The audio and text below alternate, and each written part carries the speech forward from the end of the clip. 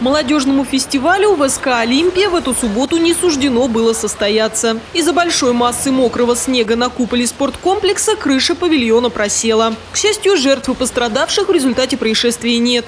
Сейчас сотрудники МЧС трудятся, счищая снежную массу с крыши «Олимпии». Работу необходимо проделать в кратчайшие сроки, иначе снег затвердеет. Уже на завтра синоптики предвещают сильное похолодание.